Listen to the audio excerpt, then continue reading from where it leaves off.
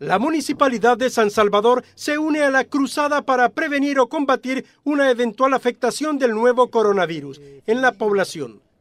Las medidas incluyen charlas preventivas, entrega de alcohol gel, colocación de lavamanos portátiles en lugares públicos, consultas médicas y hasta suspensión de actividades con alta concentración de público programadas por la municipalidad, entre otras acciones.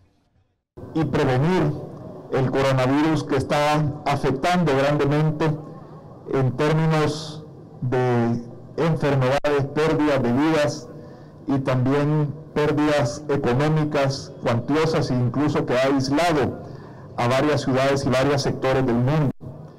Las acciones de prevención son en apoyo a la campaña de gobierno, al que espera que todos los alcaldes se unan. Este plan va en total sintonía con los planes que está llevando a cabo y con la campaña de difusión que está llevando a cabo el gobierno central y el Ministerio de Salud Pública.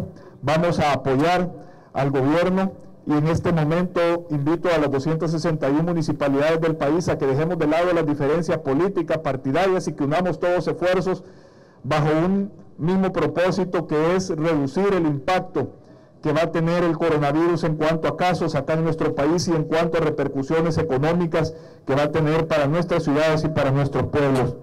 A diario en el municipio de San Salvador transitan más de 2 millones de personas provenientes de distintos puntos del país. Por eso, el riesgo es mayor que una enfermedad se propague fácilmente. De ahí la necesidad de unir esfuerzos para reducir el impacto. Con imágenes de Ricardo Tovar, un reporte de Luis Alberto López.